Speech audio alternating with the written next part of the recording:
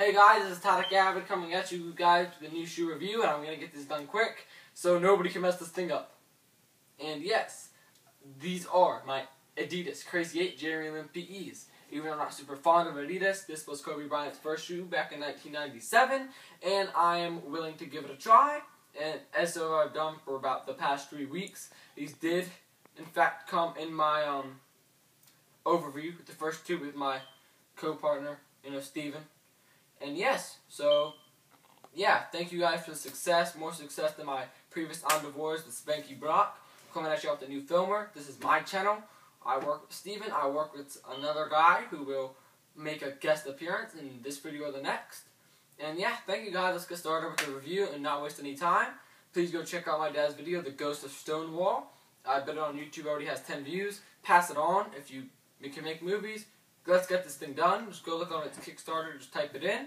And yeah, follow me on Twitter, Instagram at TariqAbed25. That is T A R I Q A B E D 25. And alright, here, let's get into the review. So basically, these are the Crazy 8s themselves. And this is a patent leather material. We can zoom in on that. Patent leather material. Seems like a nubuck, like a really soft soft material right here and also on the tongue. And these are in a size 12 and a half and they do run wide and they also run a little big. So I go stay true to size. And yeah. So So um, another thing is is I'm gonna go with the traction first. This traction features a full length herringbone traction pattern. And uh, yeah, it works well.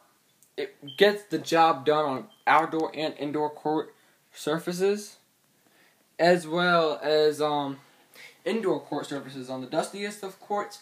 In the cleanest of courts, these have got the job done. And they're not perfect, they're not a great model, but they're not bad. Like, they're a solid 8 out of 10. And uh, the only reason they're for 8 out of 10 is they work on any court condition.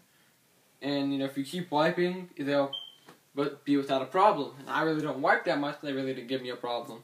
So, yeah, also has this nice little webbing that really grips the floor no matter what you move in, in the direction. And staying on the bottom of the shoe is the cushioning, the torsion support system. And that's what this does, is basically it it's the cushioning. That in the shoe, and the cushioning is a full length foam, EVA foam. That's really all Adidas works with. And yeah, and it worked pretty well. I mean, that's another like eight out of ten. I mean, the shoe's a solid shoe for the price of hundred dollars, and you can find it on sale for seventy-five dollars at FootLocker.com.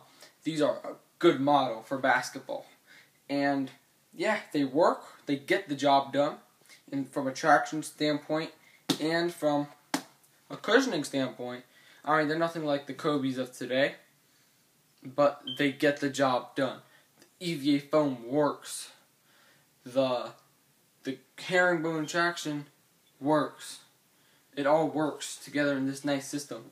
And the shoe, it looks bulky, but it is not that heavy.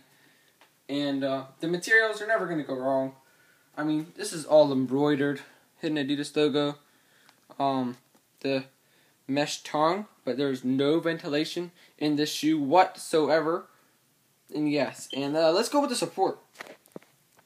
And in the support section, the support really has uh, these two little things.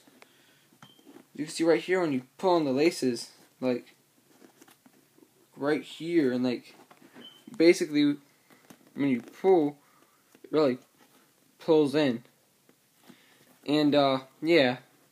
And this is also embroidered. Um, this is something in Chinese. And yeah, very nice. Patent leather. It will crease, so please get your name, your size, but it'll crease if you play in it, no matter what. It has some creasing here, but this is to be expected of a shoe with made out of leather. They're not ripping off materials.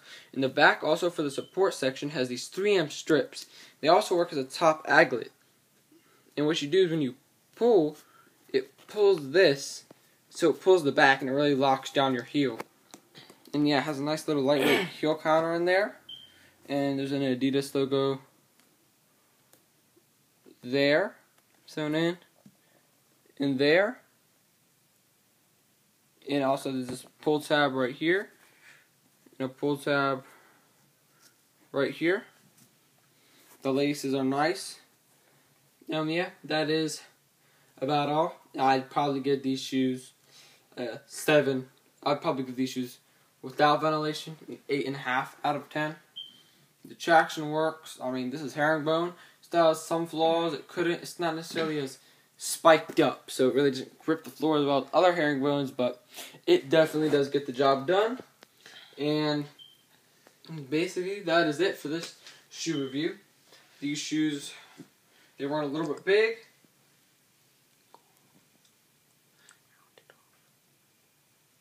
They're rounded off.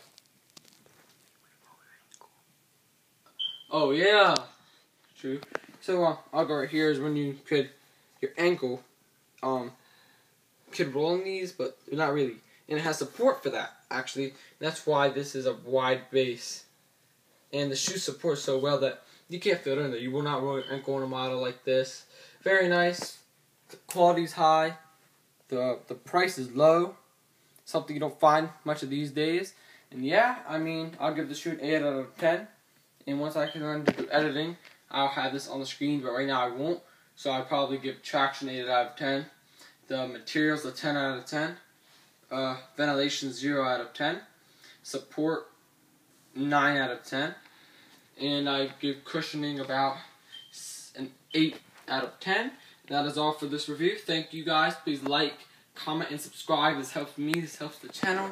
I do this for the love of the game and just the love of shoes in in general. And I'll also come at you guys part of this channel with some other reviews of toys, maybe, uh, and other stuff, collectibles, and socks, and just apparel. And I have some stuff definitely that I will performance review, like these socks. I mean, I'm really into this, and this is a hobby of mine that I will really do for a long time. And thank you. See y'all later.